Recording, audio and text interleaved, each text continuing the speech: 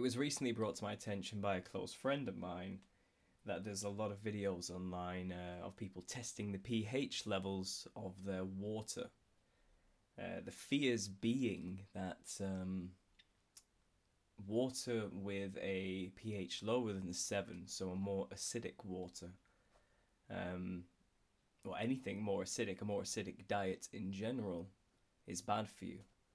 And what they were trying to show is that um, a lot of bottled water out there from certain, certain brands isn't actually neutral at pH 7, um, like they advertise, but is in fact a lot more acidic.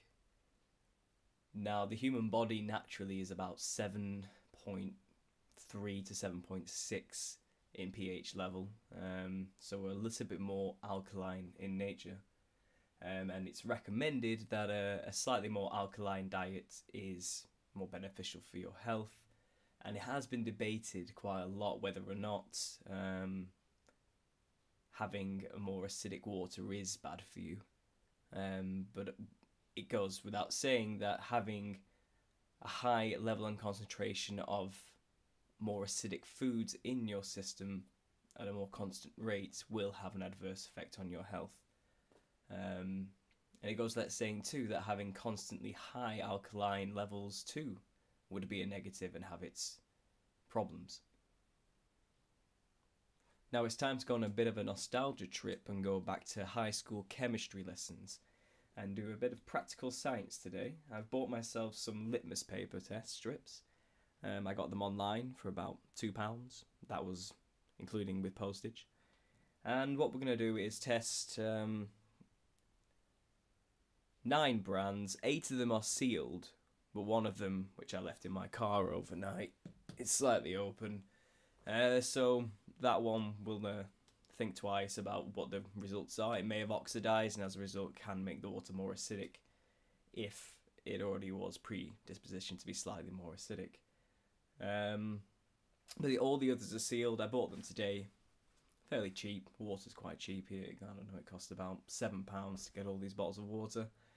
And I've got some of the main brands. As you can see here, we have Volvic, um, quite a popular brand, quite a high name brand. A lot of adverts on television, has a lot of uh, funding for advertising. Uh, Buxton, again, something similar, and Evian, quite well known brands of waters. And of course, we have Smart Water. Uh, this one claims to have electrolytes. I think that's what makes it so special.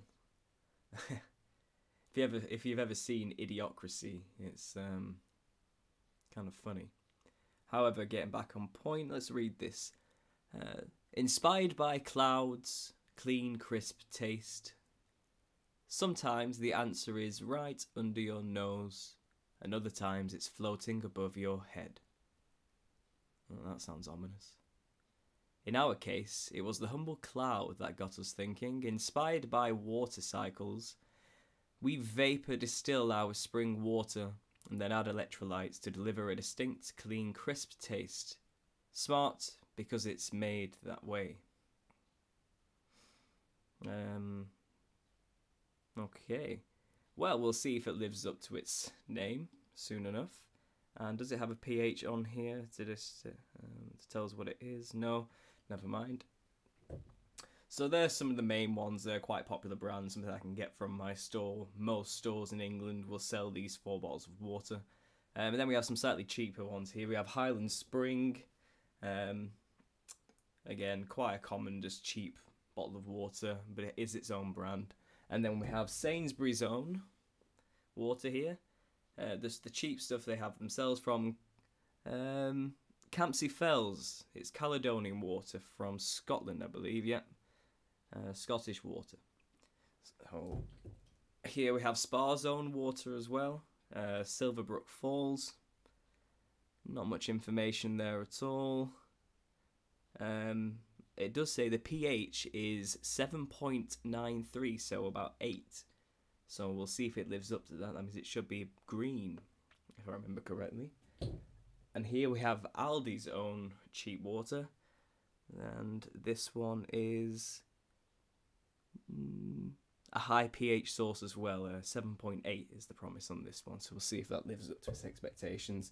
And this is Nestle water. Now, this one did have quite a bad result on all the other tests I've seen online. It came up red most of the time. Uh, like I said, this has been in my car for a day or two. I've had a little bit out of it, as you can see. Um, so we'll test it anyway and see what it says.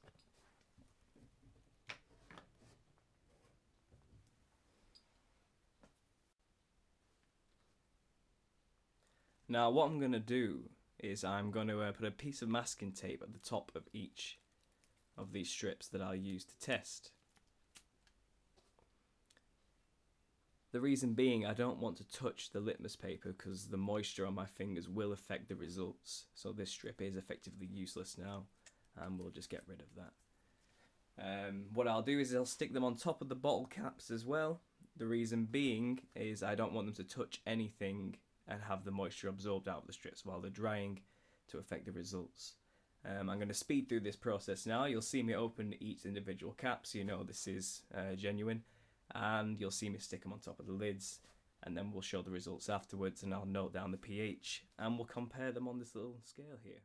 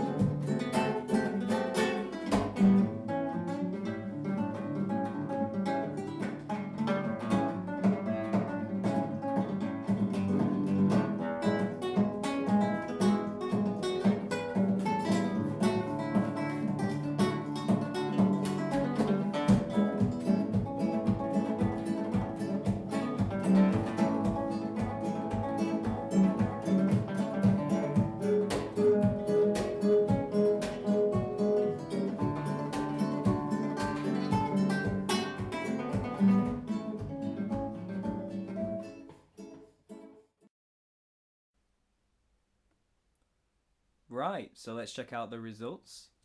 See if I can uh, get this here. And we'll lift it up.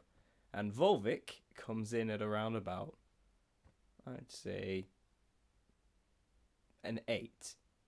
That's quite an impressive uh, amount, that's good. So it's more alkaline, which is good for us. It's like Volvic passed the litmus test here.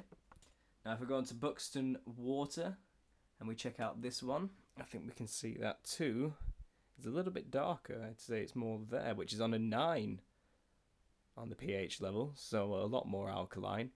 Um, I'm pretty sure at those levels, it's actually becoming bad for you, but I could be wrong. Um, I believe it needs to be between 6.5 to 8.5 to be healthy, and if it's on a 9 on the scale, that's cause for worry, I think. However, a small amount of alkaline probably would do you some good if you always have an acidic diet, so nothing wrong there, I suppose. If we go to Evian, again, quite a dark green. I'd say mm, closer to 6. Uh, sorry, closer to 8, should I say, and 9. So I would say it's somewhere in between, so we say about an 8.5. So every and again, those top three sellers, I'd say are quite good. Um, there's no problem there. Um, I've seen some bad results on from other sources. I don't really know where this water's come from. The bottle can tell you anything, but we all know the truth is rarely what these companies tell us. But as it goes from now, I can tell that uh, these are good things for me to drink. Um, out of the three, it looks like Evian comes in at the uh, best there with the most bolder green and the most persistent as well, as it seems. Now, if we come here to the smart water, it looks like the electrolytes didn't uh, really do much for the water. It looks like we're at a seven. I'd say it's on seven, and maybe yeah, we'll say seven. So it's right in the middle. Um, however, I'd say we need a slightly more alkaline uh, beverage for it to be match with our own body pH levels. So it's like the smart water falls short out of all of them, because as you can see here with the results of the rest, they are all falling in within the range of 8, 7 and 9, the slightly more alkaline, including the Nestle water. So as a result, the tests don't lie. I can say my water in my local area in Preston in the northwest is alright. And if I had a choice, I guess I'll be going for Evian from now on. Through my own research firsthand, I can safely say this is probably the best for you. If I go to the spa to buy these bottles, that is. Obviously, now with this uh, handy little cheap pH tester, I can test any drink I have um, quickly just to see what's going on there. And if it's in the red, I know there's a problem. So to finish up and in conclusion, um, you should all do your own tests on this. Like I said, it's really cheap. It, it literally costs pennies to buy these strips. And uh, you're really just paying for the postage. And once you've got them, you, you have hundreds. There's, you're not really going to run out anytime soon.